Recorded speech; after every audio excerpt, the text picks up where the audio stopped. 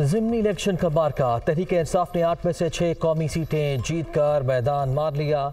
इमरान खान, कराची, करंगी, फैसलाबाद, ननकाना साहब, मरदान चारसदा और पेशावर से कामयाब। पीपल्स पार्टी का दो नशस्तों के साथ दूसरा नंबर। मुल्तान से अली मूसा गिलानी जीत गए। शाह महमूद कुरैशी की साहबजादी मेहरबानों को शिकस्त का सामना। एन ए दो सौ सैंतीस कराची बलीर से भी जाले उम्मीदवार, अब्दुल हकीम बलोच की फतह।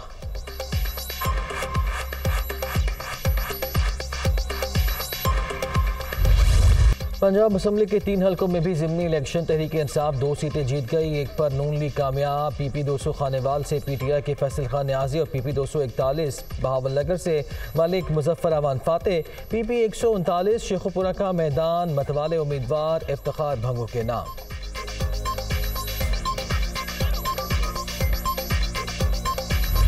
ढोल ताशे बैंड बाजे, भंगड़ों पर ज़ोर और नारों का शोर।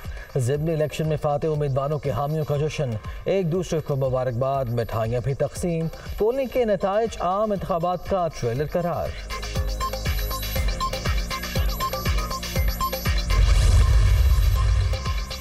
जिमनी इलेक्शन रेफरेंडम था आवाम ने फिर फैसला सुना दिया। इमरान खान पर अहतमाद का इसार वाज पैगाम, साबित हो गया तहरीक इंसाफ की मुल्क की सबसे बड़ी जमात है असद उमर।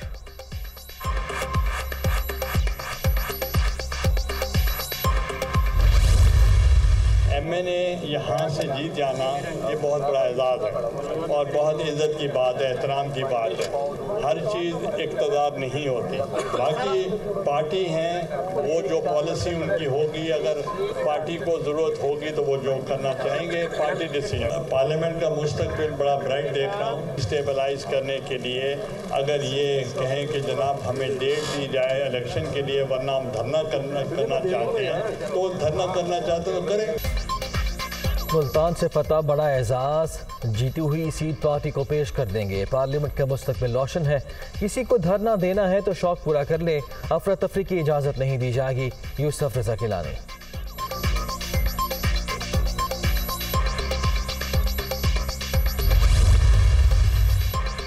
कराची और मुल्तान से पीटीआई को अलविदा। हकीम बलोच और मूसा गिलानी ने 2018 में चुराई गई सीटें वापस ले ली। बिलावल भुट्टो जरदारी का ट्वीट। जीत की मुबारकबाद।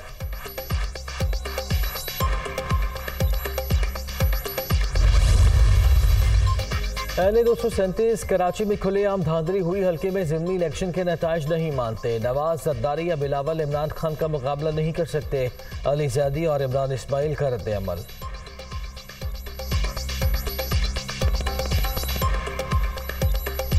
कहीं मार धाड़, कहीं तू तकार जिमनी इलेक्शन के लिए पोलिंग, दिन भर लड़ाई झगड़े। एन ए इकतीस पिशावर में पीटीआई और एएनपी कारकुनों का आमना सामना। एक दूसरे से हाथापाई और मार कुटाई। एएनपी की खातून एमपीए की बैलेट पेपर पर मुहर लगाने की वीडियो सोशल मीडिया पर वायरल। इलेक्शन कमीशन का नोटिस। फैसलाबाद में भी पोलिंग अमले और एजेंट्स की तू तू मैं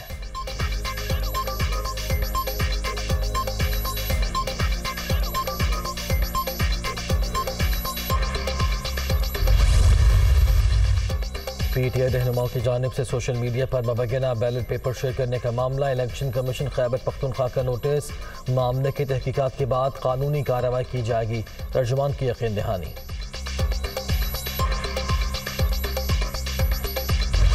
सुल्तान का आपके सामने नतीजा आ रहा है, गैर हतमी, गैर सरकारी। अली मूसा गिलानी जो है, वो seventy nine thousand seven four three four three vote लेकर कामयाब हो चुके हैं। सबसे पहले सबसे तेज की रिवायत बरकरार, दुनिया न्यूज़ का जिम्मे इंतबात का सबसे पहला गैर सरकारी, गैर हतमी मुकम्मल नतीजा नाजरीन तक पहुँचाने का एहसास। पोलिंग के दौरान लम्हा ब लम्हा रिपोर्टिंग, पल पल बदलती सूरत हाल से आगाही, खसूसी इलेक्शन ट्रांसमिशन की भी भरपूर पजीराई।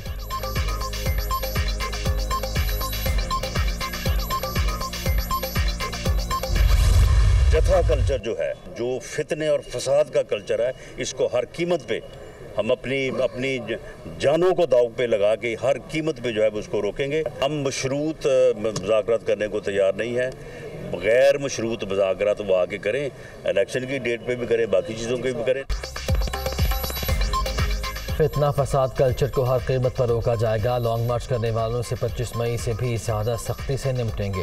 विफाकी वज़ीर दाखिला की फिर वार्निंग, परवेज राही में इमरान खान घुस गए। गिरफ्तारी से खौफजदा नहीं पी टी आई से इलेक्शन समेत तमाम मामला पर गैर मशहूत मुजाकर के लिए तैयार हैं राना सनाउल्ला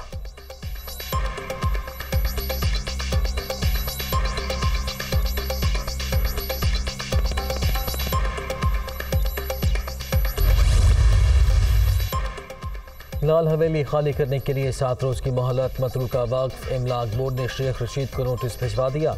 हिदायत पर अमल न हुआ तो पुलिस की मदद ली जाएगी। डेप्टी एडमिनिस्ट्रेटर का डेप्टी कमिश्नर रावलपिंडी को भी मावरत के लिए खत।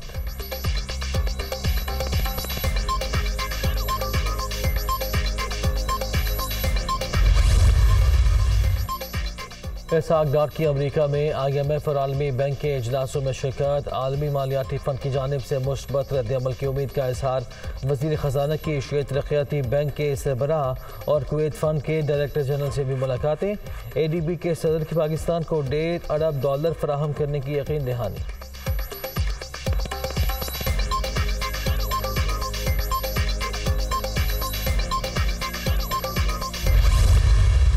शर्म आनी चाहिए वफाकी हुकूमत को कि हमें, आप समझते हैं कि पंजाब को आप भूखा मार के तो आप चला लेंगे।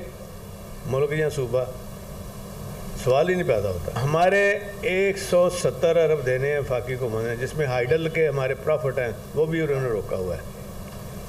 तो अभी कहते हैं जी कि 10 लाख टन आप जो है वो मंगवा लें, लेकिन इजाज़त नहीं दे रहे वफाकी हुकूमत हमें मंगाने की। परवेज इलाही का पंजाब को गंदम इम्पोर्ट करने की इजाज़त से इनकार पर इजहार तशवीश। शहबाज शरीफ नूली को सूबे से निकालने का बदला आवाम से ले रहे हैं। गंदम की किल्लत पैदा करने की मजमूम कोशिश भी की जा रही है। वज़ीर अला की तनकीद।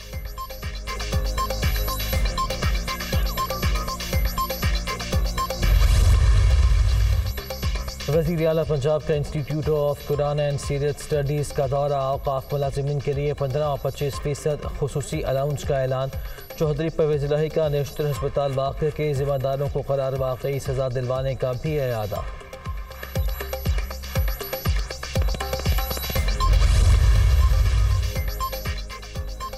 मुतनाज़ा ट्वीट्स का मुकदमा इस्लामाबाद की मकामी अदालत ने आज़म सबाती का मजीद एक रोज़ा जिसमानी रिमांड मंजूर कर लिया पी टी ए रहनुमा को आज दोबारा पेश करने का हुक्म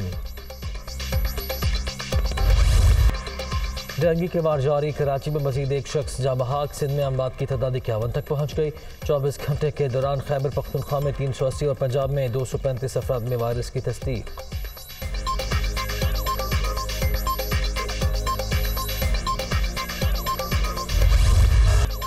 आइन पसंदी और कानून की हुक्मरानी के हवाले से पंजाब ग्रुप की इंडियस कॉन्क्लेव रियासत पाकिस्तान को हर दो बरस बाद आइन में तब्दीली की ज़रूरत होती है। अब तक पच्चीस तरामीम हो चुकी साद रसूल का इजहार ख्याल। वक्त के मुताबिक आइनी तरमीम होनी चाहिए। अब्दुलमीज़ जाफरी का खिताब।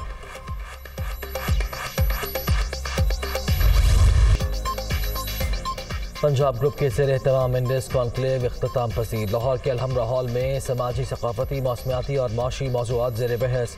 आखिरी रोज़ एंटरटेनमेंट इंडस्ट्री के हवाले से बिनशस्त मीरा सेठी वासे चौधरी और कामिल चीमा का इजहार ख्याल